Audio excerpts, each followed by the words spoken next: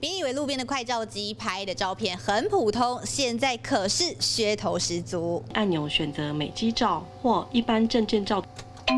只要加个五十块钱，快照机也能变美肌。不过所有东西都得 DIY，椅子高度自己调，镜子太脏自己擦，接着调好角度，摆好 pose，咔嚓一声，证件照五分钟内就能拍好，连艺人辜婉宇也惊艳。抛出两张证件照对比，顾婉宇对右边超满意，还说快照机灯光打得好，让你上天堂，黑眼圈几乎不见，有没有这么夸张？我们实际找到这台快照神机。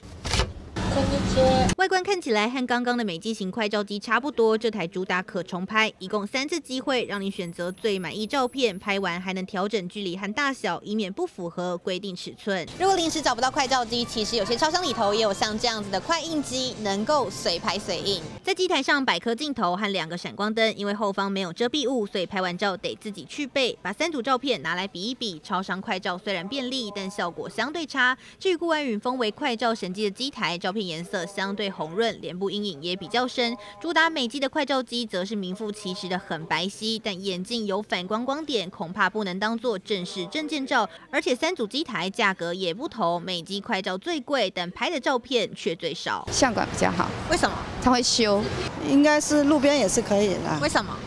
嗯，方便。说到底还是要看照片需求，如果是身份证或护照证件照，还是选择专业相馆比较妥当，以免照片不符规定，再美也是白花钱。谢陈子芬李选台报道。